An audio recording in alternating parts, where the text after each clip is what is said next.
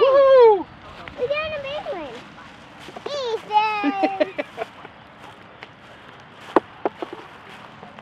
My name is Michael Blair. I'm the production manager here at Abbott Farms. It's a fancy way of saying it's my job to grow everything and make sure the fields are in good condition so everyone can come out and pick when it's time. How red this is?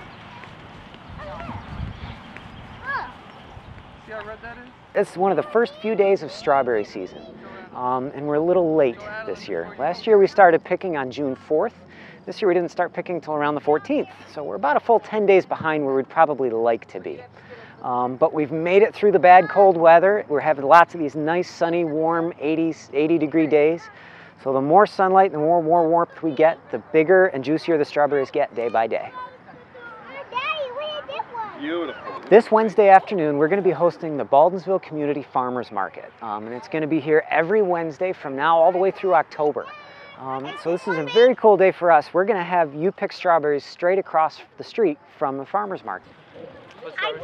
Wow, look at all those strawberries. We're expecting three or four food trucks, some live music, maybe 20 vendors or so, um, and then fresh strawberries right across the street. So it should be a very cool afternoon. Starts today from 3, goes till 7 o'clock this evening. We offer you pick, essentially, now that we've done strawberries, we offer you pick every day. So we start with strawberries, we're going to continue on to sweet cherries and raspberries, blueberries in the middle of summer, and then apples in the fall. So you can show up seven days a week here at our farm and pick something. Um, but Wednesday afternoons with the farmers market going on should make a, a pretty unique and very cool environment to come on out to the farm.